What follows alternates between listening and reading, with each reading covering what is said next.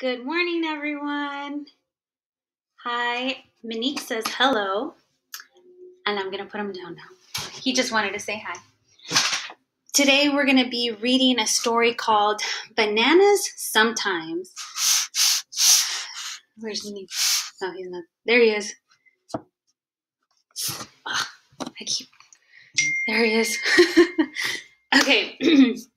Bananas Sometimes is about building our imagination and envisioning everyday objects, just like bananas, and seeing what they kind of look like.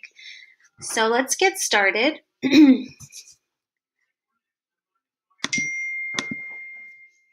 Let me log in. I'm going to use a smile. Bananas sometimes. Bananas sometimes, written by Elizabeth Strauss or Strauss.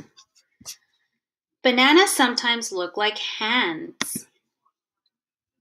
And I'm going to actually talk about a strategy. If I were to be reading this book for the very first time, and because it's a level B book, there's going to be some tricky words in there. So I'm going to be practicing my strategy that's called Get Your Mouth Ready. Okay? So if it starts with an H, I'm going to get my mouth ready to make the H sound like. So let's look at this one. Bananas sometimes look like, ooh, that's tricky. And I'm looking at the picture. Oh, I know, maybe hands. Does that make sense? Bananas sometimes look like hands. Yeah. So let me show you my strategy.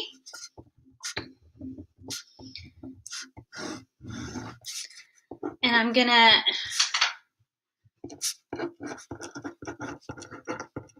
show you kind of what it looks like to use it. So this is getting your mouth ready. I saw that it started with a H. So I was like, my mouth was getting ready. Hands. Okay, so let's do another one. Bananas sometimes look like, ooh, tricky word. It starts with a B. The B says, this looks like a Say it with me if you already know what it is. Bananas sometimes look like boats. Good. The next one. Bananas sometimes look like. What is he holding? Like a. Getting my mouth ready. Pencil. Bananas sometimes look like pencils. Yes, that makes sense. It kind of looks like a pencil. Ooh.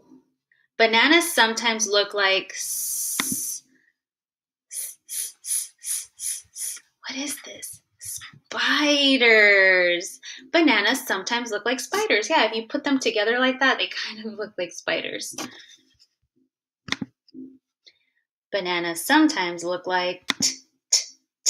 Hmm, this one might be really tricky because we don't usually call them this anymore we just say phone or iPhone. But in this case, it starts with a t, t, t. What is it? A t, t, t, telephone. It's a telephone. Bananas sometimes look like telephones. Ooh, this one's funny. Bananas sometimes look like, get my mouth ready with that S sound. The S says, smiles. Bananas sometimes look like smiles. I'll put a smiley face there. Oh, this is a new word. Bananas sometimes look like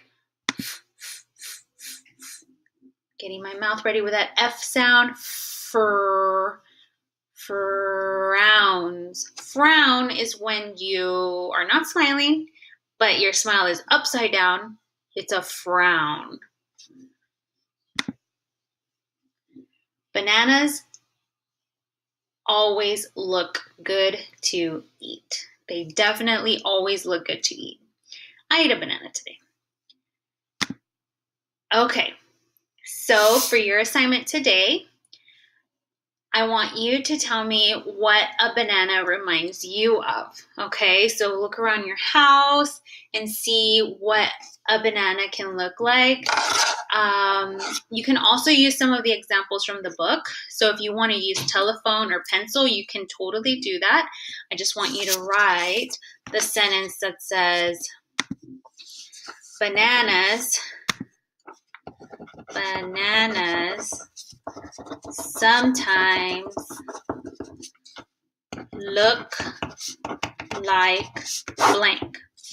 Like I said, you can find something different in your house that you want to use that looks like a banana, or you can use some of the examples from the book. So, just a reminder here are the ones that we found in the book frowns, smiles, telephones, spiders, pencils, boats, and hands. Okay? So, have fun, and I'll see y'all later. Bye.